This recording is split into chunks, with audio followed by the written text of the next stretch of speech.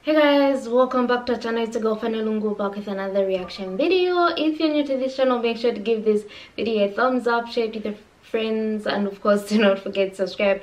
Like I said, my name is Fanny and on this channel we post reaction videos each and every day. So if there's something that you guys want us to react to, let us know by dropping the link in the comment section below, and we'll be more than glad to do it. You can check out our second YouTube channel called Fanny and Jessy 2.0. We have some amazing weekly content. Head there, subscribe, and enjoy. We've got a podcast.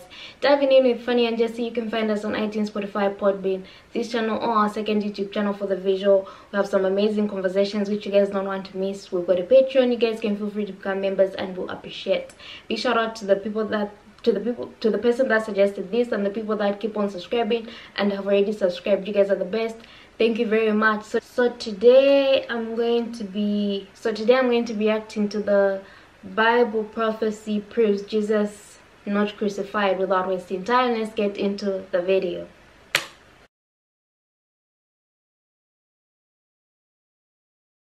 One of the most contested issues between Christianity and Islam is the crucifixion. The death of Jesus on the cross is taken by Christians as an almost indisputable fact of history. Yet, the Quran makes the bold claim that Jesus was not crucified. In this video, we are going to see that the Quran has a remarkable insight into biblical prophecy, which proves that the Messiah was saved by God.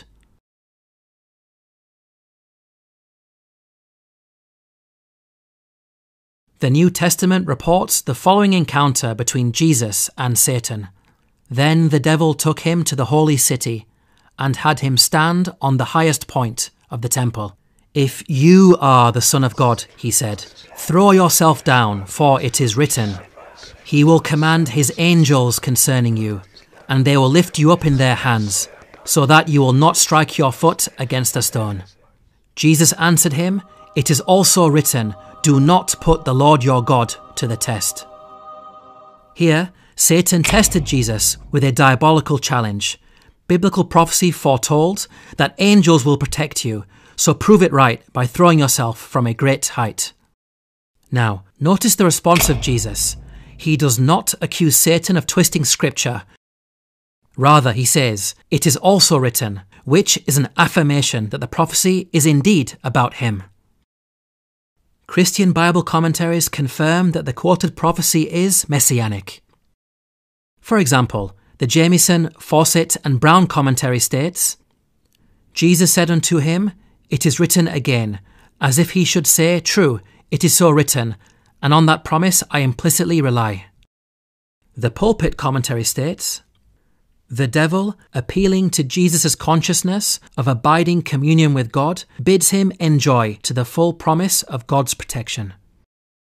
John Calvin's commentary states Satan is not wrong in proving from this passage that angels have been given to Christ to wait on him, to guard him, and to bear him on their hands.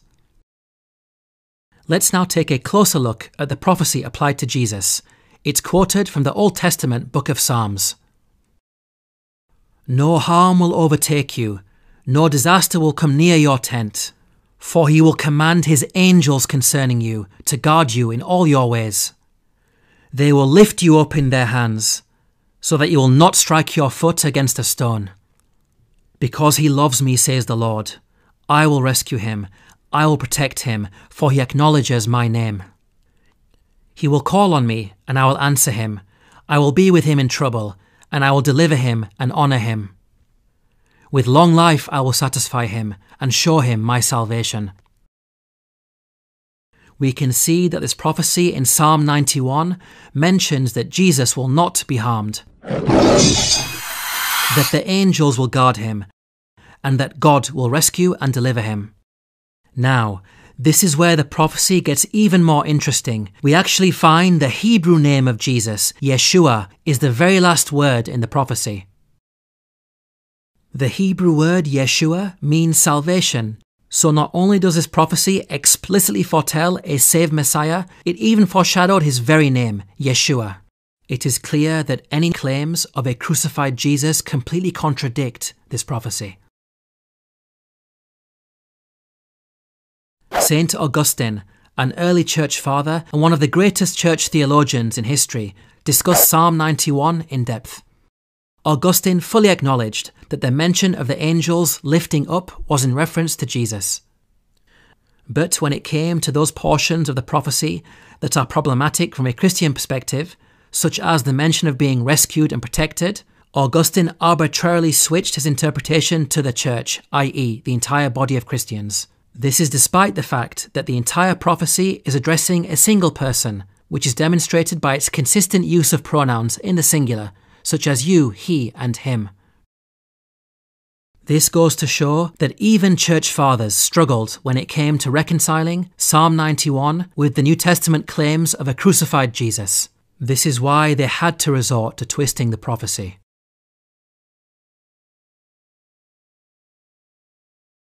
This is what the Quran says about the crucifixion.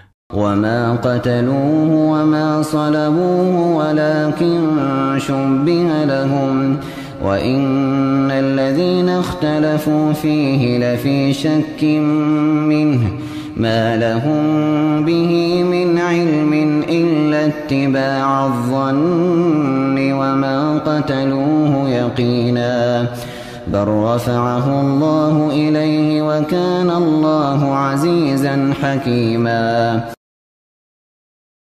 The Quran is crystal clear. Jesus was saved from the crucifixion, being raised up to God, alive and unharmed. These verses show remarkable insight when we analyze them in detail.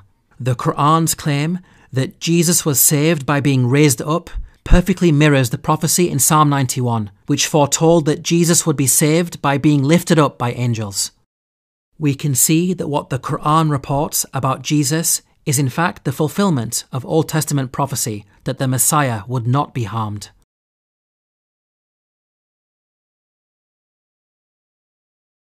The foundation of Christianity is the crucifixion. For the Quran to come along nearly 600 years later and challenge it is quite bold.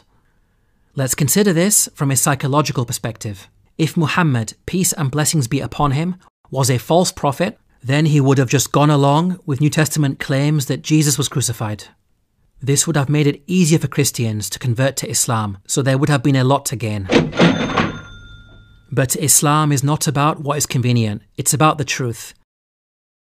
The implications of the Quran's position are far reaching and actually go beyond Islam. One of the reasons that Jewish people reject Jesus is because of the crucifixion. They know that the Messiah cannot be crucified, based on Old Testament prophecies that we have seen.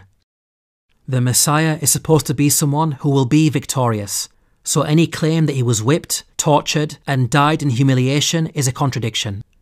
So, the New Testament claims that Jesus died ironically justifies the Jewish rejection of him. The Quran removes the stumbling block of a crucified Messiah and paves the way for the Jewish people to accept Jesus. Many have criticized the Quran and its audacity in challenging the New Testament crucifixion narrative. We have seen that it is in fact the New Testament accounts written by anonymous authors decades after Jesus, which claim that Jesus was crucified, a complete contradiction of Old Testament prophecy that the Messiah would be saved from death. These prophecies are a vindication of the Quran's position and proof of its tremendous insight into the actual life and mission of the Messiah. To learn the truth about Jesus, please download your free copy of the book, Jesus, Man, Messenger, Messiah, from the link below. Well, that that was an amazing video. This is what I always say.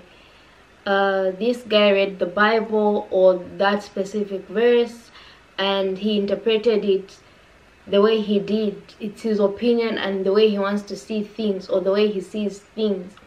Another person will read the same same verse and still look at it in a different way and associate it to something way different. Another person will read it and take it in another way. We can all watch the same thing.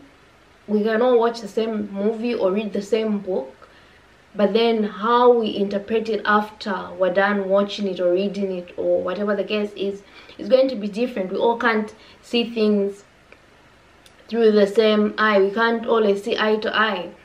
otherwise this was very very amazing let me know what you guys actually think about this do you agree with what he's saying do you have a differing opinion i mean i respect his opinion i respect yours as well just as i expect you to respect the other person's opinion that's next to you. Otherwise i enjoyed watching this and listening to this. Make sure to give this video a thumbs up. Share it with your friends and of course do not forget subscribe and i'll see you in my next reaction video